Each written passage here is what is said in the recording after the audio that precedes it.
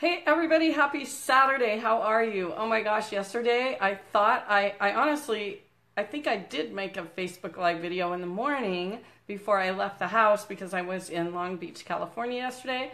And I looked at my timeline, I went, I guess I didn't save it or something. So darn, I'm gonna have to do two Facebook Lives today. How are you doing? Okay, so my subject, as you can see, is ignite your business, or I'm sorry, or ignite your income in a biz in a weekend. Ignite your income in a weekend. I've just decided 5 seconds ago that I'm going to be doing a weekend where it's all about making money. You're going to learn how to make money different ways in one weekend. You can come for the weekend and I promise you if you do what we tell you to do, you will make money that weekend. It will pay for your event and your time to be there. So, how many of you who are watching right now or uh, yes, are watching right now, would show up and invest one weekend of your life and learn how to make money. Okay? I think you would, right? Susan Sheppard, you are on the line here. Would you like to join me in my um, in my broadcast here? Are you available to join? Can you test me a little message if you want to jump on?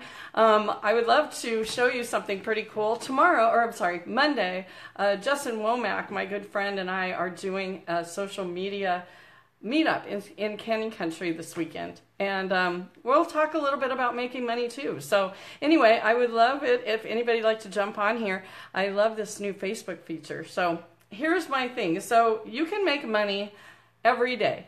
All you have to do is think about Make a list, actually. Do that. Sit down and make a list. Okay, Susan's going to get on here. We're going to talk about money, Susan. We're going to talk about how easy it is to make money. So here we go. I'm going to try to find you here. Um, as soon as she decides to jump on here, we will talk about making money. Susan has worked with some people that um, do events strictly for that. Susan, oh my gosh, what's up with your hair there? and why do you have sunglasses on? I just got out of the jacuzzi. Oh, okay. You have your sunglasses on. You know that too, right? Oh, because I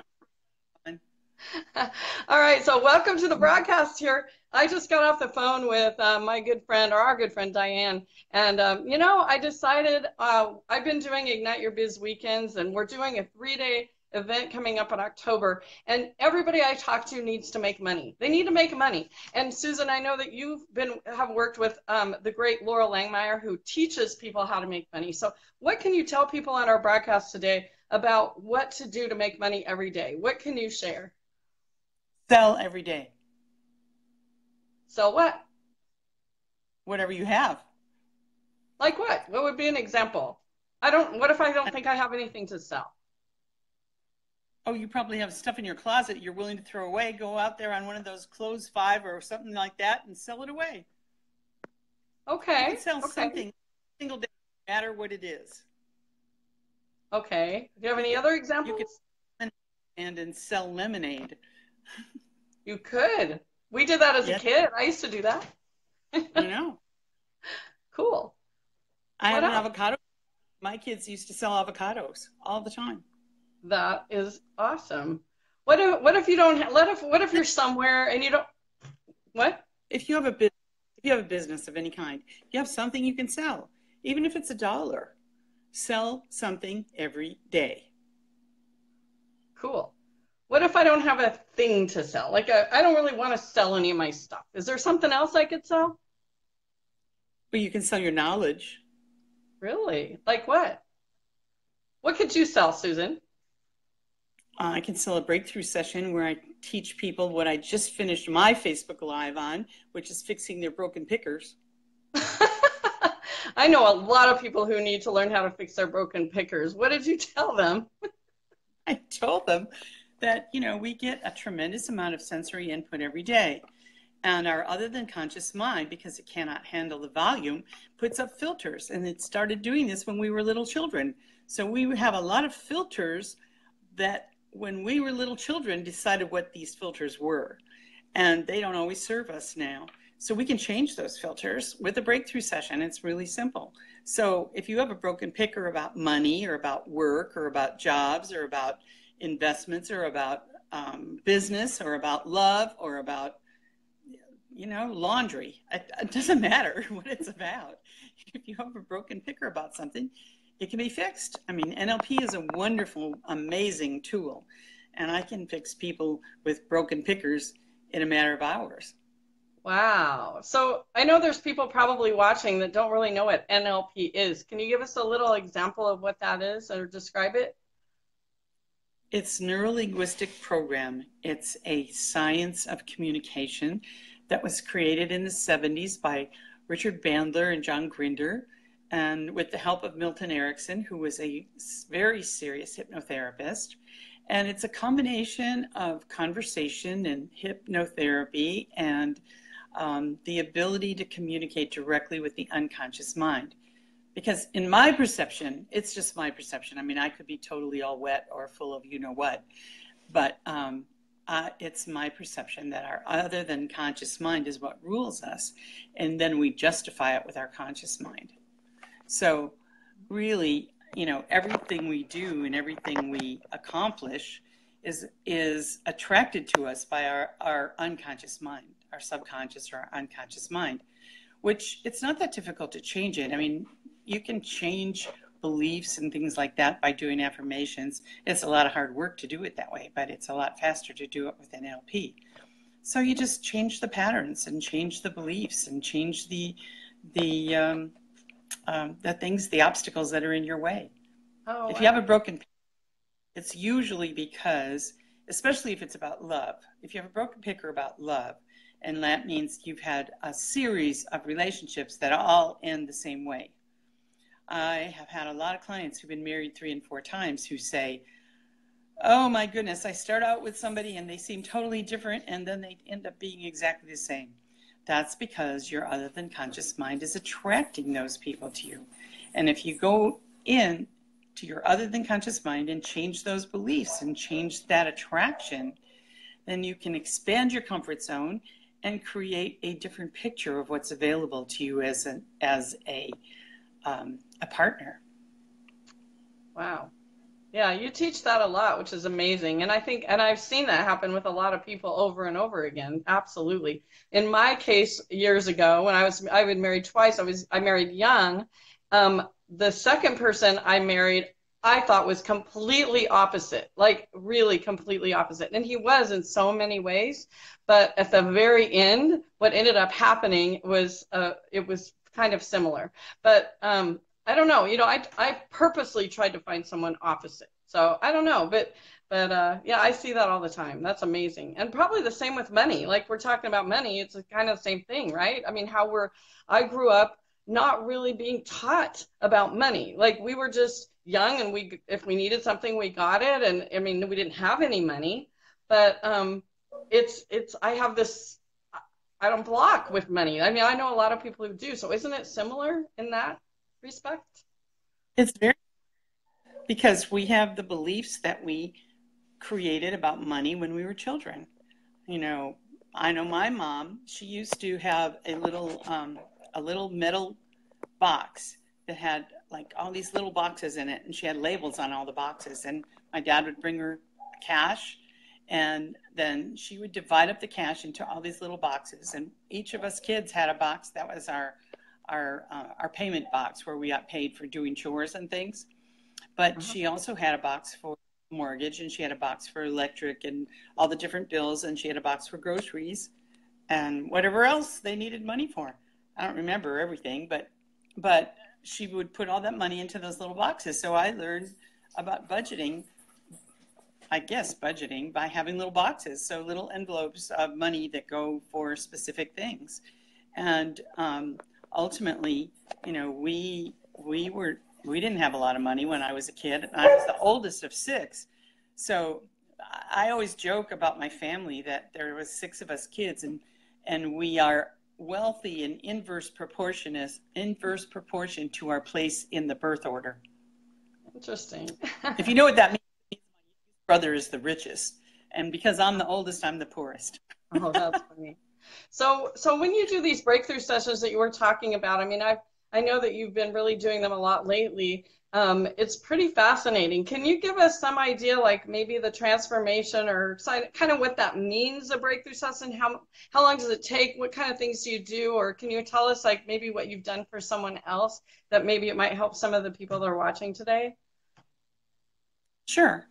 Um, if there is an element that um, creates a behavior that you don't want, um, there might be a part of you that's that's in rebellion, you know, that's gone rogue in your body, a part of you that's gone rogue, and so you have a part that's that's got a different agenda than the rest of your brain. So um, maybe it's um, people who say, you know, they want to they want to be on a diet, let's say, but then they go out and they eat all the things that they don't want to eat. And they even though they say they're going to be on a diet then they go out and eat everything they say they're not going to eat.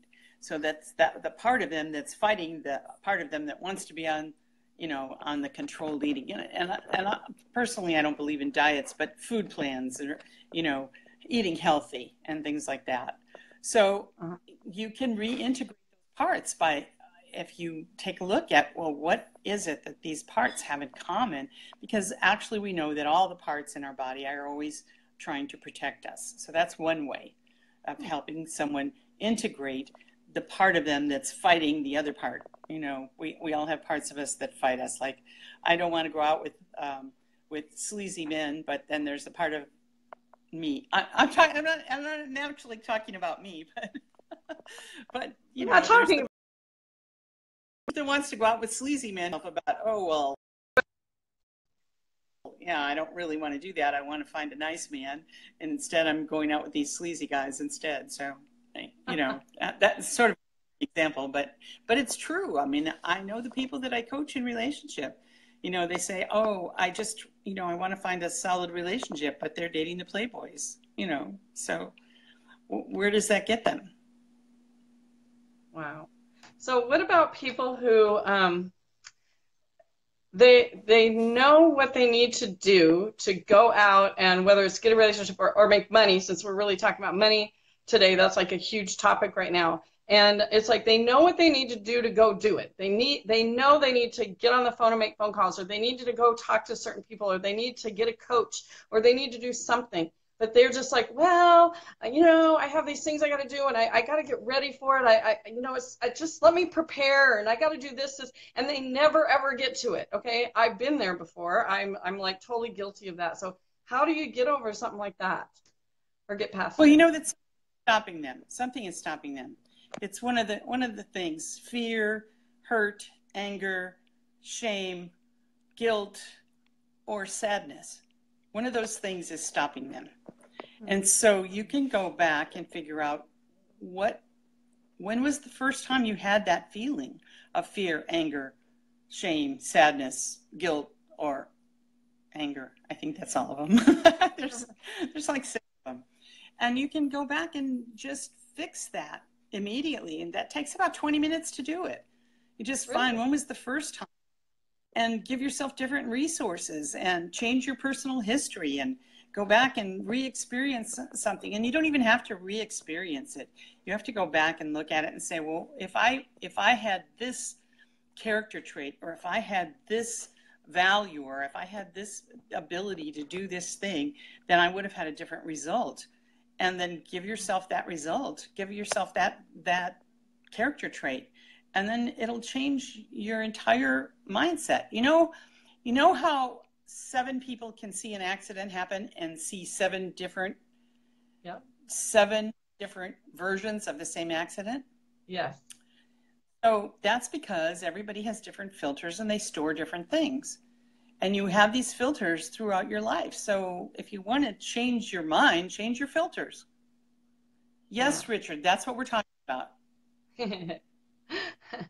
so, um, so is there is there a trick or something that that we could tell everybody to do on their own, or is do you need someone like you to do it with them, or is there? I mean, anything that we could try to do on our own first to to go back and do that? Any tricks? Anyone who learns NLP can do it to themselves. I mean, a, a great bit of the value of learning NLP is that you can do these processes on yourself. So you know, they're not difficult to do. It's just a matter of learning them. Okay. You know, I need I need my I need my stick to hold this steady. yeah, I know you're moving all over the place. I put mine on a tripod because I realized I I use my hands a lot and it's like then my phone goes everywhere. So so is it Yes, I got well, a question. My, my try so handle is Oh, so if would it be possible? I don't know. I'm just asking this. I, I really don't know, but would it be possible sometime to either do um, maybe a Facebook Live where we're just like, okay, this is what we're going to do. Be on here at a certain time, and you could you run a process with everybody on my on our screen here? That just a simple one to give us a taste of what that would be like. Maybe would that work? Maybe. Or I don't know if it would work for everyone, but we could try it. try it. Let's let's talk, let's talk offline and and see if we can figure out how to do that because you know right now I'm just around a lot of people and talk to a lot of people that you know that really need money right now. And and they're just it's it's just so hard because they're just like I don't know what to do. And and I or or they're in a job they just hate they hate their job. But they're like oh well I need this job to make the money. And they just keep doing the same things every day and they're unhappy.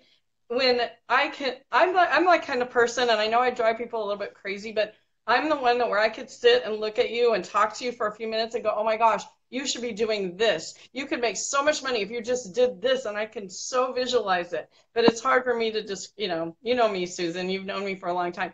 I, they people aren't going to always understand what's in my head. But how do we get them to get out of their own head and get out of their own way and really start opening their mind that they could do more things to make money? So that's that's our question of the day. It is always about taking action. I mean, really, taking some type of action. And literally, if you decide that every day, no matter what, you're going to take action towards the goal you're trying to reach, whatever that is, you're going to sell something every single day even if you sell something for a dollar it doesn't matter you know if you sell something every day and you know most of the people we know are entrepreneurs. Not everyone but most of the people we know they're entrepreneurs and yeah there's a few people left that still have jobs but yeah they are but a lot of those people don't give up their job they don't want to give up their security I know, but sadly, jobs are not secure. I don't care where what job it is; it's not secure. It's a security blanket. You know, a paycheck is a security blanket. Yeah, yeah absolutely. So, um, so yeah, so maybe I I I did this once a long time ago when I was like I, I had sold my business. I'm like, oh gosh, now what I'm going to do, and all this stuff was happening. Um, I I don't know where actually I found it online somewhere. It said sit down and you can you are not allowed to get up out of where you're sitting. You have you can't stop and split it into two uh, points. You have to do so in one sitting. Write down, just start writing a list of 100 ways you can make money. 100 ways you can make money.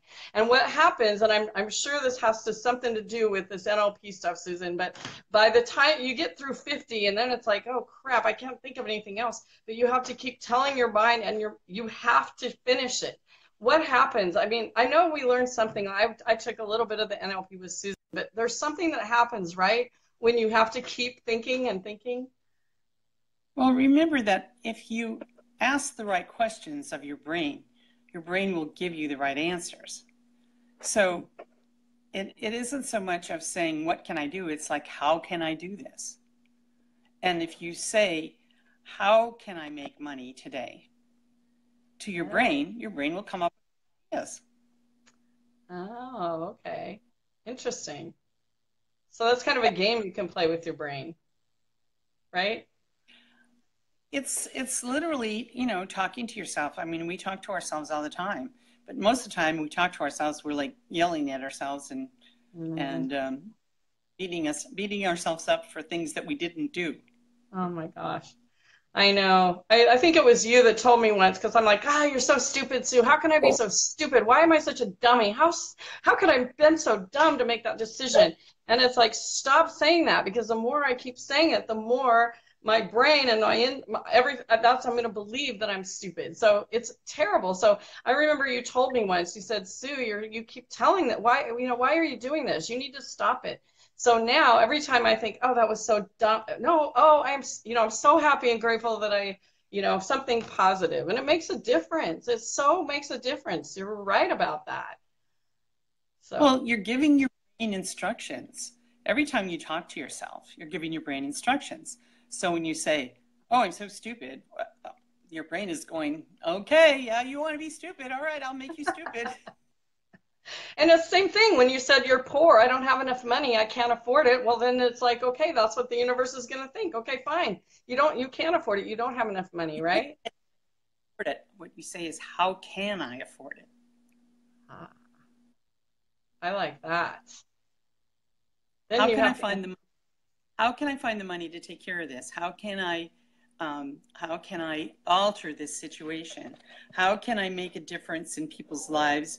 How can I do whatever it is you want to do? And when you ask that, how can I, with the right questions, your brain will give you the right answers.